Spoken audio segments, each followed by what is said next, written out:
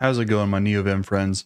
Today, I want to show you a little bit about NetRW and the default file editor in Vim and in NeoVim. So we're going to jump into that. If you like videos like this, you want to see more NeoVim content, hit that like button, hit that subscribe button, and let's jump into NetRW and how to use it. First off, whenever we jump into NeoVim, unless you have another plugin set up or you're using La LazyVim or something, this is the NetRW prompt you're going to see. And so we can jump into different node modules, go up a directory. This is the same directory, so it doesn't actually do anything whenever I hit enter.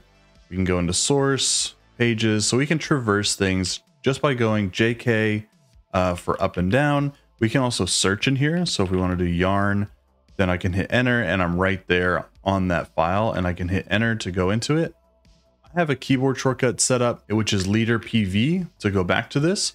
But if we wanted to do that differently, we could do colon EX, and this should jump us back into that same netrw prompt. If we need to create a file, the way to do that is with a percent sign. And so you'll see at the very bottom, we have a file name and we can say test.txt, and that will create this new file and we can type into it and then save it. Now let's jump back over here and we should see our test file here and I can do all the same visual things that are going on.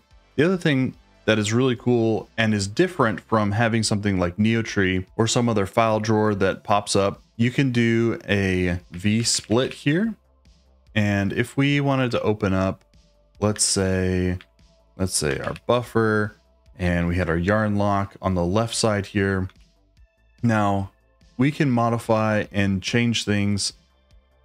And so if we wanted to go into Docker Compose, but hey, we actually are looking for something else, we don't need to do anything strange. Like the windows automatically work because we're in NetRW and we can navigate between them just like using our normal window hotkeys. If we wanted to create a directory, we do that with JD and that will give us this directory. And we can say like maybe public and inside of there, we want to create a new file. Again, we can do that test txt. And this will create this file and we can save it.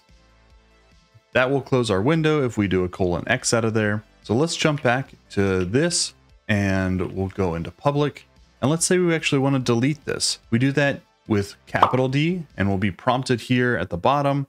And we can say, yes, I want to delete that file and it goes away. If instead we want to go over here and do a rename, so we can do that by doing capital R, and we're actually renaming to whatever directory is. So what we can do is actually change the directory that this goes into and say public and then bob.txt.